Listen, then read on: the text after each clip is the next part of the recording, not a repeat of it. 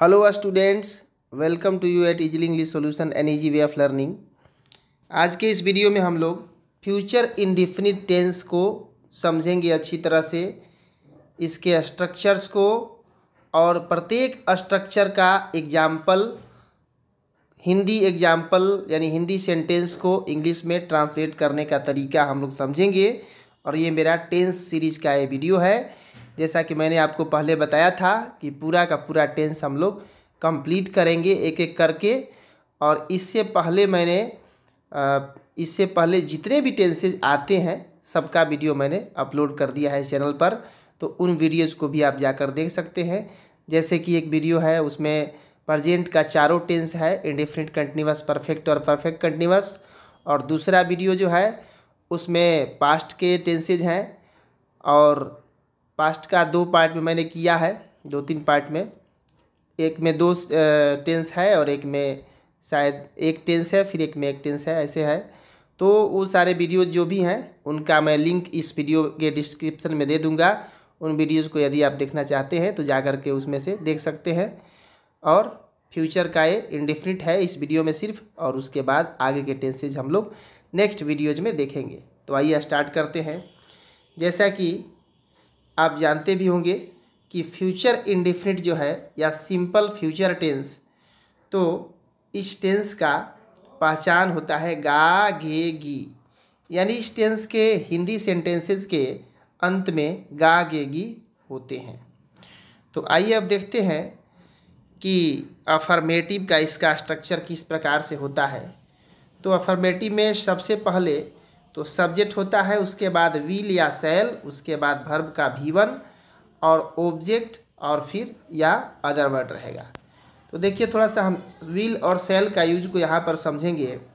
देखिए जो third person singular number subjects हैं, जैसे कि ही है सी ईट या कोई भी नेम है, ठीक है?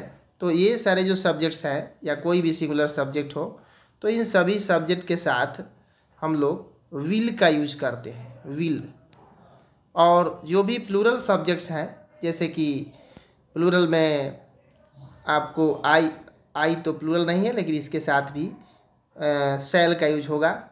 और वी यू और दे या कोई भी प्लूरल सब्जेक्ट के साथ, ठीक है? सेल का यूज़ होगा। ऐसा ट्रेडिशनल ग्रामर में आपको लिखा हुआ मिलेगा। लेकिन अब मॉडर्न ग्रामेरियंस ने क्या किया है कि सिर्फ़ आई और वी के साथ सेल का तो यूज़ कर रहे हैं, लेकिन बाकी सबके साथ विल का ही यूज़ देखने को आजकल जो बुक्स ग्रामर के मिल रही हैं, उनमें देखने को मिल रहा है कि प्रायः सबके साथ आई विल का ही यूज़ हो रहा है। आई और वी को फिर भी आई और वी के साथ तो विल का यूज़ नहीं करना चाहिए। और आई और वी के साथ भी विल का यूज़ कुछ बुक्स में मिल रहा है। अब देखिए, आगे हम समझेंगे कि किन परिस्थितियों में, एक थोड़ा सा इम्पोर्टेंट बात है, यानी किन परिस्थितियों में आई का और वी के साथ विल का यूज़ होता है और ही और सी के साथ सेल का यूज़ होता है। तो देखिए, जैसे कि एक एग्जांपल आपको हम दिखा देते हैं, थोड़ा ये डिफरेंट चीज़ है, बहुत इम्पोर्टेंट चीज़ है। जैसे कोई सेंटेंस आपको लिखा हुआ मिलता है कि वह वह अवश्य वह अवश्य जाएगा। यानी फ्यूचर के तरफ़ इंडिकेट करेगा फ्यूचर को डिनोट करेगा और उसमें अवश्य वर्ड लगा रहेगा। ऐसे तो अवश्य का मस्ट होता है, लेकिन वो फ्यूचर का सेंस डिनोट नहीं करता है। वह अवश्य जाएगा या वह अवश्य खेलेगा या घूमेगा, जो भी रहेगा तो वहाँ पर क्या होता है?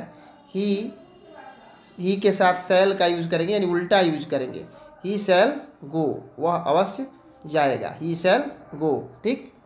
अब यदि रहेगा कि मैं अवश्य जाऊँगा तो आई विल गो आई के साथ विल का यूज़ हो जाएगा। तो इस तरह के सेंटेंसेज में ही इस तरह मतलब उल्टा यूज़ अपोजिट मतलब यूज़ किया जाता है। मैं अवश्य जाऊँगा तो आई विल गो वह अवश्य जाएगा ही सेल गो ठीक है? तो चलिए इसमें अब आगे बढ़ते हैं। अब इसका एग्ज़ाम्पल देखिए है।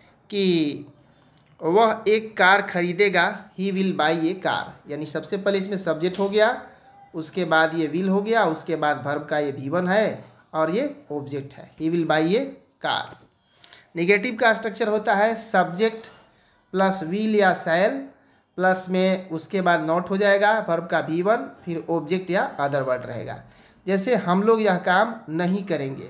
We shall not do this work we shall not do this work और आगे देखते हैं, आगे है इंट्रोगेटिव तो इंट्रोगेटिव में जैसा कि आप जानते हैं कि जो भी हेल्पिंग वर्ब होते हैं, वो बिगनिंग में हो जाते हैं, शुरू में हो जाते हैं। तो विल या सेल को पहले लिखेंगे, उसके बाद सब्जेक्ट लिखेंगे, उसके बाद वर्ब का भी वन फिर ऑब्जेक्ट या अदर वर्ड ठीक है?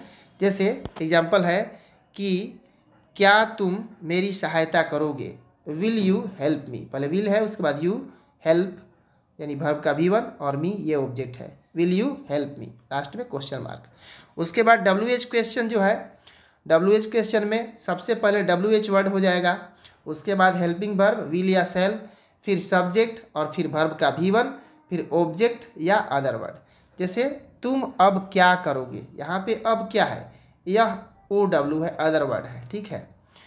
What will you do now what will you do now यहाँ जैसा कि आप देख रहे हैं, कोई भी ऑब्जेक्ट नहीं है। यानी सबसे पहले डब्ल्यू एच वर्ड उसके बाद ये हेल्पिंग वर्ब फिर सब्जेक्ट फिर ये वर्ब का भी वन आ गया, और फिर ये अदर वर्ड आ गया। ठीक है?